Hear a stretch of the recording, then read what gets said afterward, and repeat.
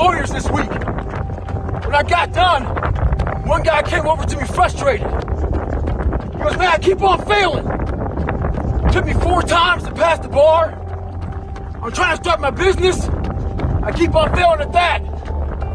The whole time he was talking to me, I started smiling.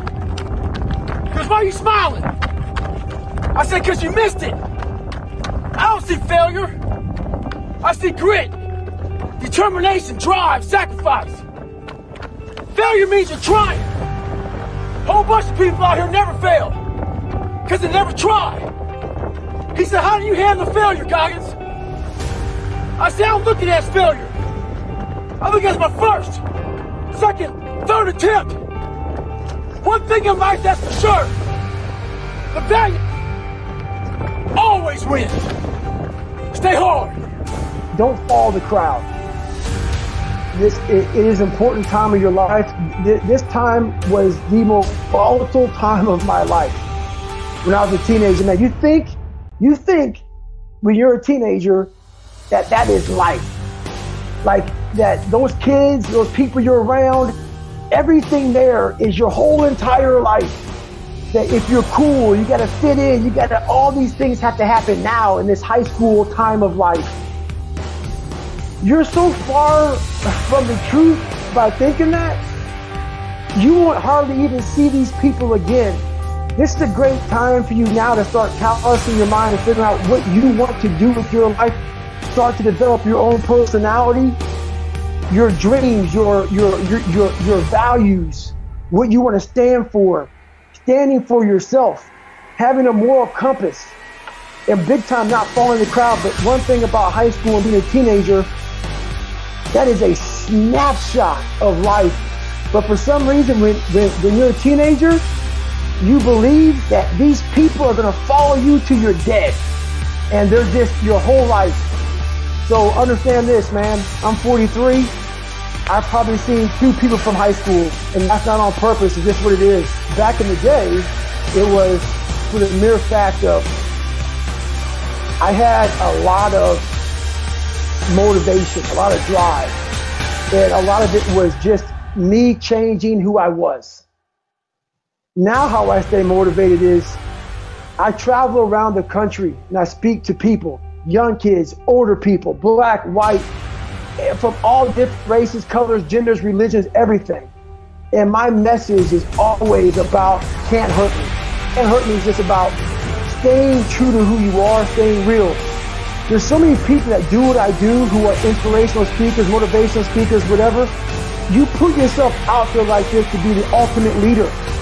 People are trying to see what you're talking about and live off your example. What motivates me now, what keeps me going up every day, people who listen to me, people who follow me, people who trust in me, people who want to be better. I have to live by example. So when it's miserable outside, when I don't want to study, when I don't want to do, even clean my house, make my bed, I will be a liar like I used to be if I'm telling you something that I'm not doing every single day of my life. I have to live by example.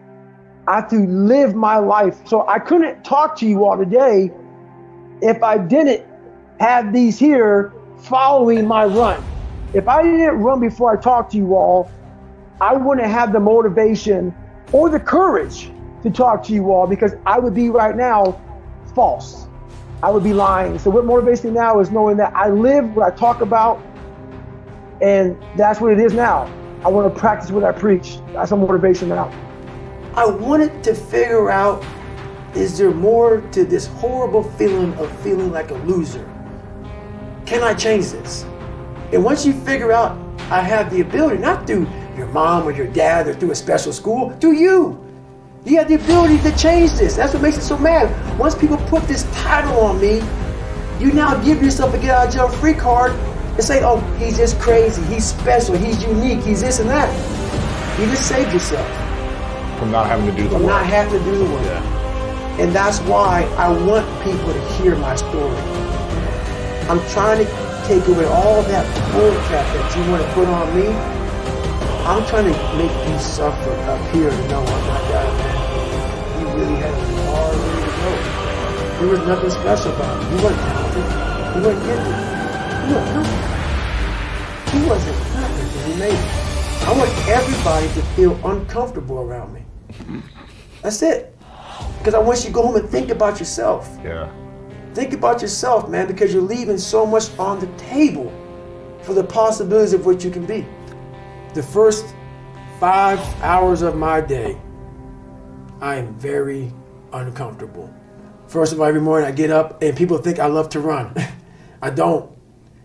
You That's why you do it. That's why I do it. And, and people don't understand the mentality. Oh, you have to love it, man. No.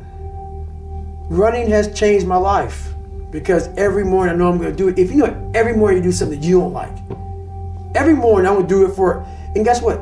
If I just ran for an hour a day, a day is 24 hours, right? What percent is that? What's one hour over 20? Was that four percent? A small percent. But anyway, that's why I know I'm at a, a high level because I'm at a dis, not wanting to be this, you know, uncomfortable. I put myself in the dungeon every day, off jump, out of bed, and start. While most people lose the battle in the morning, like once you leave your beautiful house, the war starts. Nowadays, it starts before you leave home. The phone rings, social media's up, the world's attacking you. If you don't control what you can to build that armor, so in the morning time, what I'm doing is I'm building my armor. It gets broken every night. I get up in the morning time, I start to build the armor. Let's run. I build the armor. I face the world. Because now I know there's going to be some disappointments along the way every day. Yeah. That's life. But if you face disappointments already in victory, the things I can control is I can control my run. Mm-hmm. I can control how my house looks, how my how my world is. I can control that. So I've won. Open my door of life. Life starts to beat me down.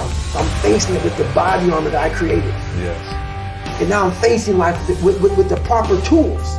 Unlike I hit the snooze button, I'm running late, my house is a mess, my mind's a mess. Now life's already beat you. So you open the door, and now life hits you, and you're already frustrated. You're already in that anxiety mode. You're stressed already. And then life starts to pile more on top of you. You get home, you're exhausted. And that's how life happens to everyone. You have to live and win what you can and build the body armor. Start callousing the mind so you're ready for combat outside of your house. So two guys asked me help train for a marathon. Oh,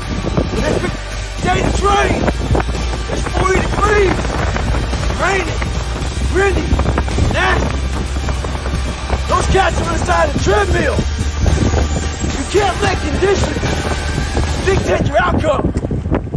They believe that if it rains or snows or it's too windy, they may cancel the marathon. They ain't cancel. You better train with whatever conditions they give you. The person that usually feels me, she's taking a day off in the car right now. This is too nasty. Don't do the same. Stay hard.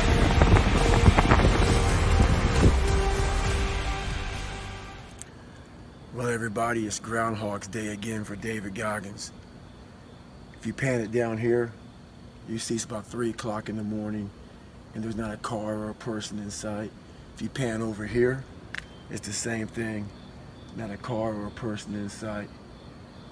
People want to know where I find my strength at, where I get my strength. I get it from a lot of places, but right now, this morning, I'm getting it from there's not a that's up. There's not a car, there's not a person. Everybody's in their bed, sleep, dreading that it's a Monday, hate it's a Monday. And I'm loving it. I'm loving that. Where everybody's getting weaker, I'm getting stronger. It's not about the running, the swimming, the push ups, the sit ups. It's about what those things do for your mentality. You don't get better on the daggone couch. You get better by coming out here and getting the after it every daggone day. Stay hard.